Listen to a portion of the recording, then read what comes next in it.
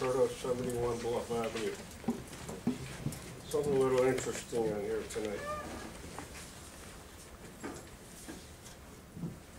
Give an appointment here to a flood and erosion control board. Flood and erosion control board, not commission. Very hard to appoint a commission when it doesn't exist. So this must be the first member. Because I was reduced to what they call the Building Oversight Committee uh, years back when I asked for the Flood and Erosion Control Commission. Apparently, it's still in the charter, but it was defunct by the Borer administration, right? Because it was just one more stage of nonsense they thought people had to go through to get stuff approved. I crawled through numerous pipes here, more swamps, cleaned up with Gail Burns and numerous other people, Tracy Morrissey and a bunch of others in cleanup over the years. I have uh, done everything possible, all right, sitting on the high school building committee, right, when we realized that the high school is being built in a floodplain.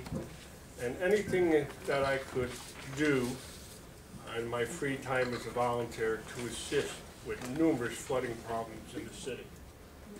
Uh, I didn't get a phone call.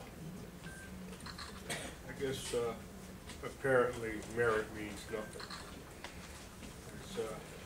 Should have been put on in the first place, but you know what happened?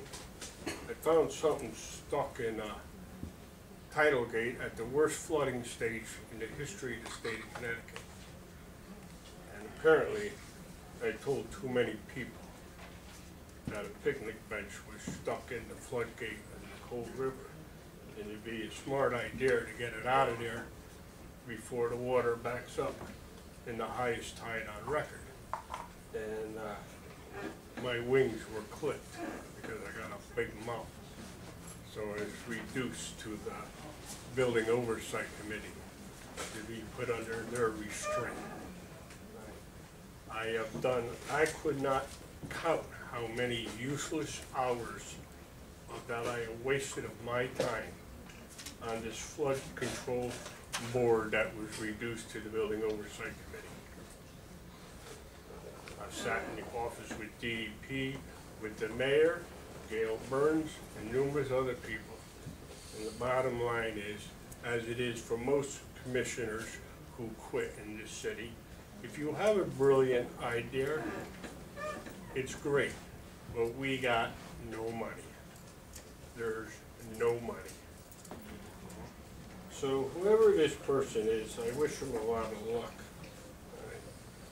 It's, uh, he's gonna need it, because I guarantee you, there's no money and nothing will be done.